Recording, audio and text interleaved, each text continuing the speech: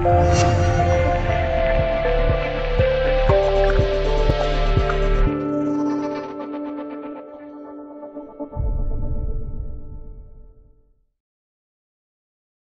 菲律宾媒体八月二十四日报道，菲律宾总统杜特尔特将送三名归顺的女飞共去中国大陆和中国香港，以亲眼看看共产主义现在已经过时了。杜特尔特今天参加东棉兰老军区十二周年庆，在此期间，他接见二幺四名前新人民军 NPA 叛乱分子，说明天我将让你们去中国大陆和中国香港。你们亲眼看看共产主义者的生活是什么样的？他们的大楼都很高，我们的只到这里而已。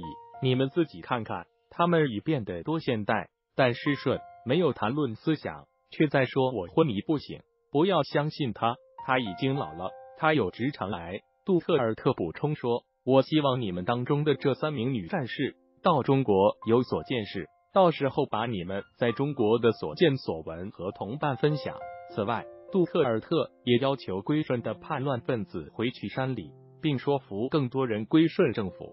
菲律宾武装部队此前安排过八八三名前叛乱分子分批前往马尼拉参观。据介绍，这些前叛乱分子是来自东棉兰老的不同地区，他们大多数是没有受过教育的穷人。自从年初非政府军实施强化的军事行动以来。至少已经有两千二百六十三名新人民军成员和他们的支持者向政府当局投降。施顺在一九六八年创立菲律宾共产党 （CPP），在同年发动反政府武装斗争，并在一九六九年成立新人民军 （NPA）。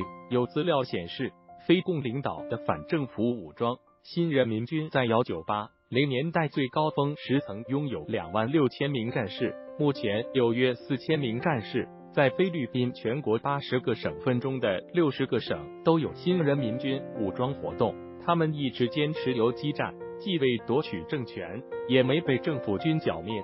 双方冲突持续五十余年，已导致至少三万人丧生。当前，新人民军已被菲律宾、美国和欧盟列为恐怖组织，但联合国并未将其列为恐怖组织。自杜特尔特出任非总统后。菲律宾政府与菲共进行了四轮和谈，但都是中途废弃。对此，流亡荷兰三十多年的施顺指责政府和菲律宾军方打断、拖延，甚至一再终止和平谈判。施顺并威胁称，由于杜特尔特暂停重启和平谈判，一场人民战争即将爆发，总统杜特尔特将被推翻。杜特尔特则回应称。过去和平谈判失败后，施顺也威胁推翻政府，但没关系，我对此没有问题，所以我们继续打仗，继续打了五十年的仗，我们再打个三十年如何？